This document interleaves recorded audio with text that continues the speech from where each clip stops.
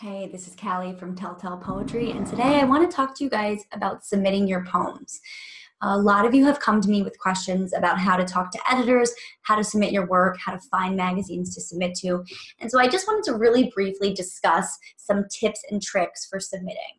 The first thing you want to do when you're submitting your work is make sure that the magazine or journal that you're submitting to would actually be interested in your poems. For example, I would not sub- submit a Christian poem to a political themed magazine.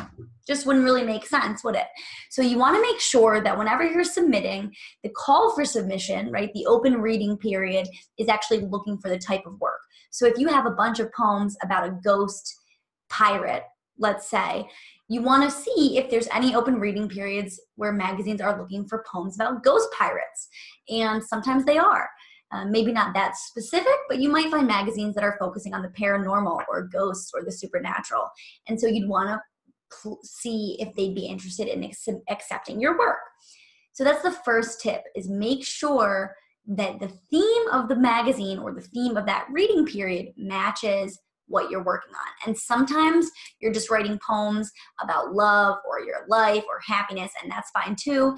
And you want to find magazines that accept general submissions. So you wouldn't want to submit to those themed magazines if you're writing um, on a non theme, right? If you're just kind of writing poems.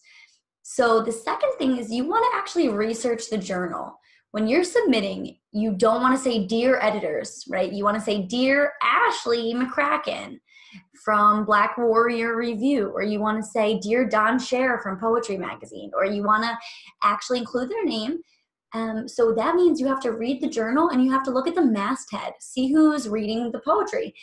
And you can even go deeper and read their poems. Um, but I would remind you that just because a poet is writing a certain way doesn't mean they would like, excuse me, or dislike your work. So if you see that one of the poetry editors from the magazine is writing super tra- traditional poems and you write very experimental poems, you should not let that deter you from submitting because submission team usually has a small staff of readers so it's going to go through a lot of eyes so that's the second thing is make sure you do your research and address the editor by name the third thing is to actually plan your submissions because they sometimes cost money. And so you want to make sure that you have enough funds to cover the submissions that you want to reach during that reading period. So whether you want to submit to five magazines or 50 magazines, make sure that if they charge that you have the payment necessary.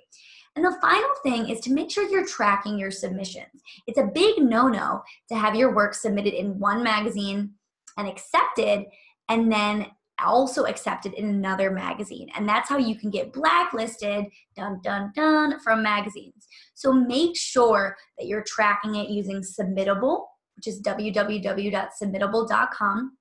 Or, like me, you can just use a regular old Excel sheet with the titles of the poems, the date you submitted, any notes, and whether it was accepted.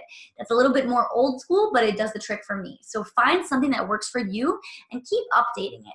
It is an annoying task, and we can also help you with that here at Tell Tell.